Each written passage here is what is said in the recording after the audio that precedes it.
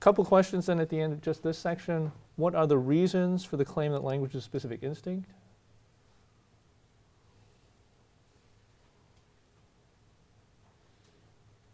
What reasons did he just give us here? Went over. Yes? Um, Uh, your name? Jency. Jinsey. So universal grammar um, exists in that it's um, complex, so it can't be um, taught. Therefore, it's already pre-programmed. Right, great. Right, so um, just to repeat, universal grammar is so complex that it's obvious that it's not coming from outside, can't be taught, therefore it must be located in the brain previously and then located as a specific instinct. Why is it located as a specific instinct? Um, because he's seeing it as something that's also an add-on to thought, right? So that there's thought, and then you can add this on as language, right? And what evidence suggests that the structures of grammar are passed on genetically?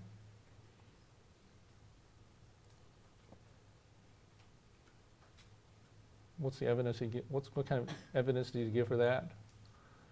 That the this language instinct is passed on genetically.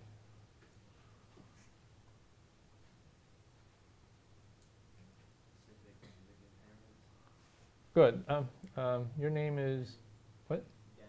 Daniel. right. And um, so the different disorders of the brain, right? And why specific language impairment? What, what, what's important about specific language impairment? So, yes? Uh, they could still like understand like the sentences of the grammar they're being told, but they just can't like physically speak. Good, right. So the specific language impairment, they can understand sentences and things, but they really just, they have this difficulty of creating the grammar themselves. And it's something that they just can't do, it seems, all through their life. Plus, it's a disorder that seems to be passed on from parents to children. Right? So that's the other important thing. And so because it's, it's a disorder that's passed on from parents to children, it's, it's sort of an indication that there must be some kind of a grammar gene that somehow has malfunctioned in these people and leading them to, to not be able to produce grammar properly. Yeah?